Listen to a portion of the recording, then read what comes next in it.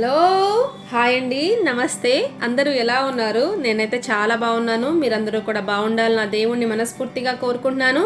Welcome to our channel ఇల్లు హరివిల్లు healthy lifestyle అండి ఈరోజు నేను మీ ముందుకి ఒక స్పెషల్ ఫ్రైతో వచ్చానండి. క్యాబేజ్ పెసరపప్పు ఫ్రై క్యాబేజ్ అంటే ఇష్టపడని వాళ్ళు ఇలా కనుక చేస్తే తప్పకుండా లైక్ చేస్తారండి. పిల్లలైతే ఉట్టిగా బౌల్లో వేసుకొని స్పూన్ వేసుకొని తింటే తినేస్తారు. సో ముందుగా వాటికి కావాల్సిన ఇంగ్రీడియంట్స్ అయితే క్యాబేజ్ని తురుము పెట్టేసుకోవాలి. పెసరపప్పును ఒక హాఫ్ అన్ అవర్ నానపెట్టుకోవాలి. పచ్చి కొబ్బరి తురుము ఉల్లిపాయలు పచ్చిమిర పచ్చిమిరపకాయలు ఒక హాఫ్ టేబుల్ స్పూన్ వరకు అల్లం వెల్లుల్లి పేస్ట్ అండి.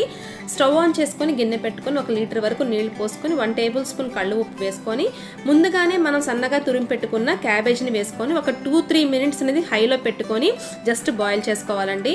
ఆ తర్వాత మనం వాటిని స్ట్రెయిన్ చేసేసేయాలన్నమాట. ఎందుకంటే క్యాబేజ్లో ఉన్న పచ్చి వాసన అంతా పోయే విధంగా అలా మనం జస్ట్ హాఫ్ బాయిల్ చేసుకుంటే చాలా చాలా బాగుంటుంది అనమాట ఈ కర్రీ.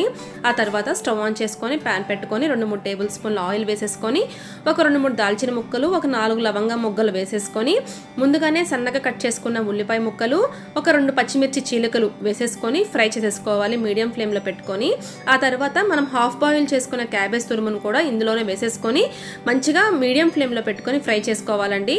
ఆ తర్వాత మొత్తం మగ్గిపోయినాక ఇందులోనే ఒక హాఫ్ టీ స్పూన్ వరకు అల్లం వెల్లుల్లి పేస్ట్ అనేది వేసుకోవాలి. సో ఇలా మనం ఈ టైంలో కనుక అల్లం వెల్లుల్లి పేస్ట్ అనేది వేసుకుంటే ఆ ముక్కలకు అనేది బాగా పడుతుంది. ఆ ఫ్లేవర్స్ అన్నీ కూడా బాగుంటుంది. మీడియం ఫ్లేమ్లో పెట్టుకొని అల్లం వెల్లుల్లి పేస్ట్ కూడా బాగా మగ్గేంత వరకు కూడా ఫ్రై చేసుకోవాలి. ఇలా మనం క్యా ఇలా కనుక మనం చేస్తే క్యాబేజ్ అంటే ఇష్టపడని వాళ్ళు కూడా క్యాబేజ్ అంటే చాలా ఇష్టంగా తింటారండి. సో మనం క్యాబేజ్తో చేసామా ఇంక దేంతో చేసామని కూడా వాళ్ళకి తెలియదు అనమాట అంత టేస్టీగా ఉంటుంది. సో ఆ తర్వాత ఒక హాఫ్ టీ స్పూన్ వరకు పసుపు ఒక హాఫ్ టీ స్పూన్ వరకు ఉప్పు వేసుకొని మీడియం ఫ్లేమ్లో పెట్టుకొని ఫ్రై చేసుకోవాలి. ఆ తర్వాత మనం ముందుగానే నానబెట్టుకున్న పెసరపప్పుని ఒక ఫిఫ్టీ గ్రామ్స్ అండి ఒక పెద్ద ఒక అర కేజీ క్యాబేజ్కి ఒక యాభై గ్రాముల పెసరపప్పు అయితే చాలా బాగుంటుంది. సో పెసరపప్పుని ముందుగానే ఒక అరగంట ముందు నానబెట్టేసుకొని వాటిని కూడా అందులో వేసేసుకొని మూత పెట్టేసుకొని సిమ్లో పెట్టేసుకొని ఒక ఐదు నిమిషాల పాటు మగ్గించేసుకోవాలి. పెసరపప్పు అనేది హాఫ్ బాయిల్ అవుతుంది అనమాట చాలా ఈజీగా అయిపోతుంది. ముందుగానే పెసరపప్పుని బాయిల్ అయితే చేయకూడదండి. అంత టేస్ట్ అయితే ఉండదు. ఆ తర్వాత one and half teaspoon వరకు కారం పొడి వేసేసుకొని వాటి మొత్తానికి బాగా పట్టే విధంగా కలిపేసుకొని మళ్ళీ మూత పెట్టేసుకొని ఒక టూ మినిట్స్ అనేది మగ్గించేసుకోవాలి. ఇలా మీరు కనుక ట్రై చేస్తే చాలా చాలా టేస్టీగా ఉంటుందండి. చాలా ఎమ్మీగా ఉంటుంది.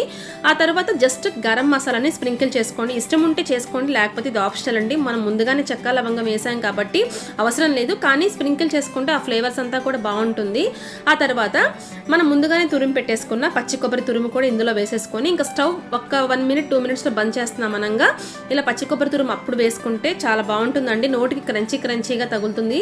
చాలా చాలా టేస్టీగా ఉంటుంది. పచ్చి కొబ్బరి అలా నోటికి తగులుతూ ఉంటే ఈ దీనికైతే టేస్ట్ అయితే పచ్చి కొబ్బరేనండి. సో ఈ పచ్చి కొబ్బరి మాత్రం స్కిప్ చేయకండి. ఆ తర్వాత ఇంకా గార్నిష్ కోసం కొత్తిమీర వేసేసుకొని ఇంకా సర్వ్ చేసేసుకోవడమేనండి. సో చూసారు కదా ఎంత ఈజీగా ఇన్స్టెంట్గా టేస్టీగా క్యాబేజ్ పెసరపప్పు ఫ్రై అనేది ఎంత రెడీ అయిపోయిందో. చాలా టేస్టీగా ఉంటుందండి.